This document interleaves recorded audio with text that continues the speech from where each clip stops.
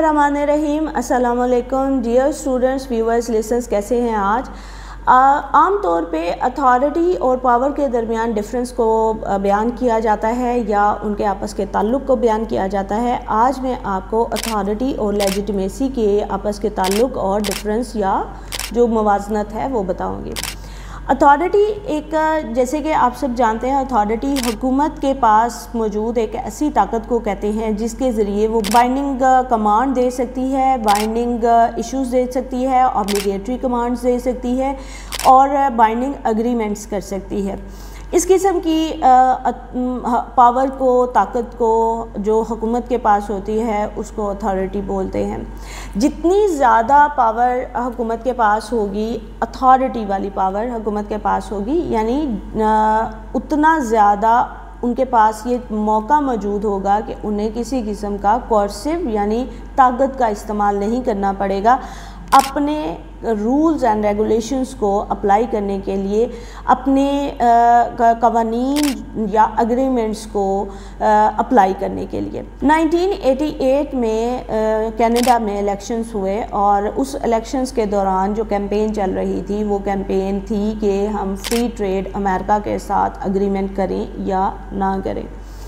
अब उसमें कंजर्वेटिव्स जो थे वो जीत गए और कंजर्वेटिव ही इस चीज़ को लेके चल रहे थे और उन्होंने फिर जब हुकूमत में आए तो उन्होंने इस चीज़ पे अग्रीमेंट कर लिया। मीन्स टू से कि जब उन्होंने ये अग्रीमेंट किया तो आवाम के पास भी ये ये एक बड़ी जहनी तौर पे वो इस तरफ़ टिल्टेड थे ऑलरेडी कि हम, अगर इस तरह का कोई फ़ैसला आता है तो हम उसको मानते हैं, क्योंकि उन्होंने वोट ही इस चीज़ के लिए दिए थे। तो हुकूमत के लिए आसान भी हो जाता है, जितनी ज़्यादा अथॉरिटी होती है। जैसे कि थॉमस हॉब्स कहते हैं कि हुकूमत जितनी पावरफुल होती है, वो अपने सिटीज़न्स के लिए उतनी बेहतर मौाक़े प्रोवाइड कर सकती है, सिक्योरिटी प्रोवाइड कर सकती है। तो पावर जो है, हुकूमत के पास जब पावर आती है तो उसको अथॉरिटी ही कहते हैं। तो थॉमस हॉब्स के अल्फाज ही हम रिपीट अगर करें तो थॉमस हॉब्स के अल्फाज में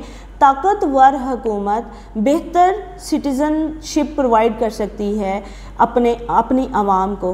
तो ताकतवर हुकूमत अथॉरिटेटिव यानी वो वाली अथॉरिटेटिव नहीं अथॉरिटी जिसके जो आ, जो रूल्स एंड रेगुलेशंस अप्लाई कर सकती है जो कवानीन को बेहतर तरीके से अप्लाई कर सकती है और आवाम को भी इस चीज़ का अंदाज़ा होता है कि इस ऑब्लिगेटरी कमांड को हमने ओबे करना है और इसको डिसरिस्पेक्ट नहीं करना। थॉमस हॉब्स की ही बात को अगर हम आगे लेके चलें तो जो गवर्नमेंट्स हैं उन वो अथॉरिटी इस्तेमाल करती हैं डोमेस्टिक रूल्स एंड रेगुलेशंस को uh, और डोमेस्टिक uh, जो स्टेबिलिटी है uh, उसको मेंटेन करने के लिए ज़्यादा बेहतर तरीके से। अथॉरिटी ही गवर्नमेंट को ये चांस भी प्रोवाइड करती है कि वो सिटीज़न्स के लिए बेहतर रूल्स एंड रेगुलेशंस बना सके। अब जब वो रूल्स एंड रेगुलेशंस बनाते हैं तो आवाम के पास भी ये चीज़, ये ये आइडिया मौजूद होता है कि जो भी रूल्स एंड रेगुलेशंस हमें बताए जा रहे हैं या हम पे लागू हैं तो हमने इनको ओबे करना है। और अगर हमने इनको ओबे नहीं किया तो हमारे ऊपर कोर्सिव मेथड्स यूज़ किए जा सकते हैं। हमारे ऊपर ताकत का इस्तेमाल किया जा सकता है। लेकिन यहाँ पे एक बात काबिल गौर है, और वो ये कि अवाम तब तक ही हुकूमत की अथॉरिटी को मानती है, या किसी भी रूल एंड रेगुलेशन को मानती है, जब तक कि उन्हें पता है कि हुकूमत की अथॉरिटी हमारे ऊपर बिल्कुल ठीक है। अब होता क्या है कि अगर हुकूमत की अथॉरिटी आवाम नहीं मानती आवाम समझती है कि हुकूमत क्या, का ये किया गया फ़ैसला हमारे हक़ में बेहतर नहीं है तो वो वो उस अथॉरिटी को, चूँकि वो समझते हैं कि हुकूमत लैक कर रही है या उसके पास पूरी अथॉरिटी नहीं है ये मनवाने के लिए तो वो उसको ओबे भी नहीं करते। इसमें हम आज 2023 में ये एग्ज़ाम्पल अगस्त 2023 में ये एग्ज़ाम्पल आजकल के टाइम में ये दे सकते हैं कि पाकिस्तान में इस वक्त बिजली के बहरान की वजह से और बेसिकली बिजली का बहरान बिजली के आने और जाने से भी ज़्यादा बिजली के बिल्स के हवाले से है, जिसके अंदर टैक्सेस की बहुत ज़्यादा शरह मौजूद है। और इस वक्त आवाम बिजली के बिलों को जला रहे हैं और वो एहतजाज कर रहे हैं। देखिए अथॉरिटी अगर मौजूद है तो ये किसी की ज़रूरत नहीं हो सकती कि वो हकूमत के दिए गए बिजली के बिल या उसके अंदर टैक्स भी मौजूद हैं अगर तो वो उसको आ, पे ना करें। क्योंकि ये आ, ये वो ऑब्लिगेशन है जो उन्होंने आ, अदा करनी है। लेकिन यहाँ पे एक चीज़ जो समझने के लिए ज़रूरी है, वो ये है कि आवाम ये समझ रही है, जो अभी थोड़ी देर पहले भी मैंने बताया कि आवाम ये समझ रही है कि ये अथॉरिटी जो हुकूमत हमारे ऊपर इस्तेमाल कर रही है बिजली के बिलों की शक्ल में, ये गैर ज़रूरी है और ये अथॉरिटी हम नहीं मानते। उस अथॉरिटी के ना मानने की वजह से लॉ एंड ऑर्डर की सिचुएशन क्रिएट हो रही है और आवाम सड़कों पे आए हुए हैं, बिजली के बिल जला रहे हैं। आवाम को जो महसूस होता है वो ये भी होता है कि हम टैक्सेस की शक्ल में हमसे सारी चीज़ें रिसीव की जा रही हैं, जबकि इस मुल्क में इशराफिया का वो बड़ा चंक भी मौजूद है जो हमारे हमारे नाम पे या हमारे होते हुए हम उनके टैक्सेस पे कर रहे हैं और उनके बिल्स की शक्ल में जो उन्हें टैक्स फ्री हैं या बिजली फ्री है, बहुत सारे लोगों को हुकूमत और उनको वो अशराफिया की शक्ल में समझते हैं कि ये अशराफिया की शक्ल में मौजूद हैं और उनके बिल्स भी हम ही भर रहे हैं। इस शक्ल में भी, इस अवेयरनेस की वजह से भी वो इस अथॉरिटी को मानने के लिए तैयार नहीं है। अब देखिए, इसी अथॉरिटी के अंदर एक एक और कॉन्सेप्ट भी है और वो है अथॉरिटेटिव गवर्नमेंट का। जब आवाम को लगता है कि ये पर्टिकुलर हुकूमत हमारी वेलफेयर के लिए नहीं है और हुकूमत ये चाहती है कि हम जो भी, जैसा भी, जिस तरह से भी फ़ैसला करें, आवाम का काम है कि उसको मानना ही मानना है। अब वो इस तरह के काम किस तरह से निकालते हैं? मिसाल के तौर पे वो फ्री एंड फेयर इलेक्शंस नहीं करने देते। मिसाल के तौर पे वो ऐसे कवानीन पास करते हैं जिसके अंदर हुकूमत वक्त या कुछ पर्टिकुलर इदारों के ख़िलाफ़ बोलने वालों को जेलों में भेजा जा सकता है। अगर वो हुकूमत के एम्प्लॉई हैं तो उनकी नौकरियाँ ख़त्म हो सकती हैं। और अगर वो नहीं हैं तो उनको पर्टिकुलर सज़ाएँ दी जा सकती हैं।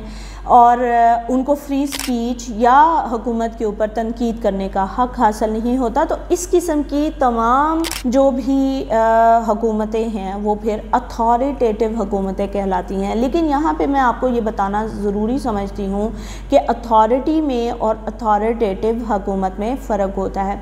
अथॉरिटी को मैंने आपको एक्सप्लेन किया कि अथॉरिटी हुकूमत का एक ऐसा टूल है जिसके ज़रिए वो अपने रूल्स एंड रेगुलेशंस को अप्लाई करवाती है और ऑब्लिगेशंस करवाती है। जो आवाम हैं, जो उन्हें पता होता है कि हमने इस रूल्स एंड रेगुलेशन को मानना है। अथॉरिटेटिव गवर्नमेंट जो होती है, उसने जायज़ नाजायज़ हर किस्म का जो फ़ैसला है, वो कॉन्स्टिट्यूशनल हो या ना हो, उसने वो मनवाना ही होता है। तो दोनों चीज़ों में फ़र्क है।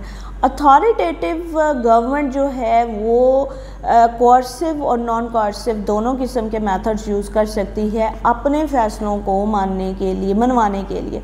यानी वो अगर उन्होंने आ, आ, कुछ आवाम की फलाह बहबूद के लिए काम किया है वो तो आ, मान ही जाते हैं बग़ैर कोर्सिव मेथड यूज़ किए हुए।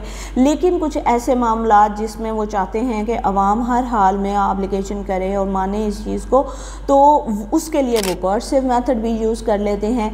लेकिन अथॉरिटी जो है, सिर्फ़ जो गवर्नमेंट के पास मेनली कानूनी पावर मौजूद होती है, उसके अंदर वो सिर्फ़ कोर्सिव मेथड यूज़ नहीं करते, बल्कि कोर्सिव मेथड आने की नौबत ही बहुत कम आती है, जब अथॉरिटी से लबरेज हुकूमत होती है। अब लेजिटमेसी की तरफ़ आते हैं। लेजिटमेसी बहुत ही क्लोजली लिंक्ड है अथॉरिटी के साथ, क्योंकि अथॉरिटी वो ताकत है जिसके ज़रिए हुकूमत अपने फ़ैसले मनवाती है, लेकिन लेजिटमेसी वो ताकत है जिसके ज़रिए हुकूमत आवाम से विलिंगली अपने फ़ैसले मनवाती है। मसलन जब आवाम को ये अंदाज़ा हो जाता है कि हम जिसकी हुकूमत है वो जायज़ है, यानी लेजिटमेट है तो वो ज़्यादा विलिंगली ज़्यादा मतलब बेहतर तरीके से उनकी बात भी सुन लेती है और मान भी लेती है। आ, लेकिन अगर उन्हें ये फ़ील हो ये महसूस हो कि जो हुकूमत आई है वो हुकूमत जायज़ नहीं है और हम इनकी बातें नहीं मानते या ये हुकूमत हम पे मुसलत कर दी गई है तो वो उसको चूँकि लेजिटमेट नहीं समझते तो इसलिए वो उनकी अथॉरिटी को भी मानने के लिए दिली तौर पे राज़ी नहीं होते। जैसे कि देखिए जब पाकिस्तान के अंदर अभी ये ख़ान साहब की हुकूमत को जब चेंज किया गया तो उस वक़्त आवाम की एक बड़ी तादाद ये समझती थी और अभी भी समझती है कि वो एक इम्पोर्टेड हुकूमत है और हम इस हुकूमत को लेजिटिमेट नहीं मानते और हम इस हुकूमत के फ़ैसले भी नहीं मानते। और इसी तरह से आवाम के की नज़र में अगर किसी किसी भी हुकूमत या हुकूमती लीडर को सियासत का, सियासी इंतकाम का निशाना बनाया जाता है।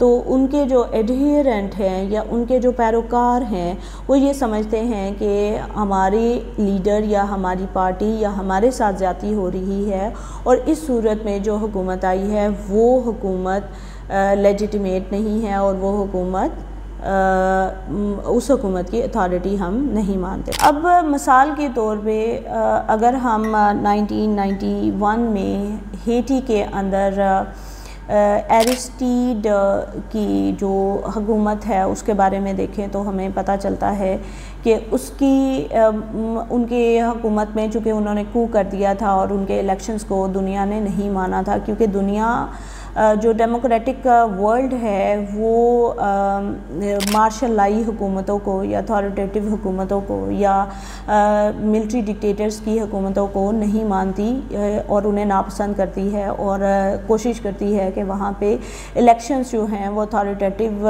रजीम की अथॉरिटेटिव रजीम अगर करा भी रही है तो फ्री एंड फेयर इलेक्शंस हो, ना कि वो अपनी मर्ज़ी के लोगों को लेके आ सकें।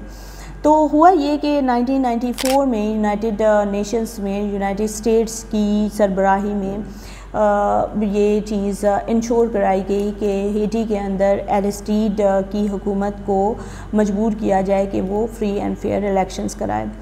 अब अगर हम देखें तो इस किस्म की हुकूमतें जो हैं वो शुरुआती दौर में तो कुछ ना कुछ लेजिटमेसी को बरकरार रखने की कोशिश भी करते हैं और बरकरार रख भी पाती हैं। लेकिन वो ज़्यादा अरसे तक लेजिटमेट नहीं रह पाती। आवाम ही उन्हें निकलने पर मजबूर कर सकती है, कर देती है। अगर आप पाकिस्तान के अंदर इसकी मिसालें देखें तो पाकिस्तान में नो डाउट बहुत ज़्यादा मार्शल मार्शलाई दौर रहे हैं, बहुत ज़्यादा मिलिट्री डिक्टेटर्स रहे हैं अथॉरिटेटिव रिजीम्स रही हैं। लेकिन बिल आखिर आवाम की ताकत से ही उन्हें बाहर निकाला गया है। वो अयूब ख़ान हो, वो ज़ियाउल हक हो, या वो परवेज़ मुशरफ हो, ये कभी भी, ये तीनों जो हैं, वो कभी भी ख़ुद नहीं गए, बल्कि आवाम की ताकत और आवाम का समंदर ही उन्हें ले डूबा था। आवाम की ताकत के ज़रिए ही इन्हें हुकूमत से बेदखल किया गया था। और उन्हें ये मजबूर किया गया था कि वह हुकूमत को छोड़ें। यहाँ पे आप लोगों को अंदाज़ा हो गया होगा कि अथॉरिटी और लेजिटमेसी के अंदर फ़र्क क्या है। लेकिन एक चीज़ आप याद रखिए कि ये दोनों एक दूसरे के बगैर कुछ भी नहीं है। पावर और अथॉरिटी में फ़र्क है और पावर अथॉरिटी के बगैर भी हो सकती है। लेकिन अथॉरिटी लेजिटिमेसी के बगैर हो तो सकती है, लेकिन उसको कोई मानता नहीं है। यानी जैसे मैंने आपको मिसाल बताई कि अथॉरिटी चूँकि आप हुकूमत में हैं, आप रूल्स एंड रेगुलेशंस को फॉलो करवाना चाह रहे हैं, लेकिन अगर आवाम आपको लेजिटिमेट नहीं मानती तो वो कभी भी आपको, आपकी अथॉरिटी को नहीं मानेंगी।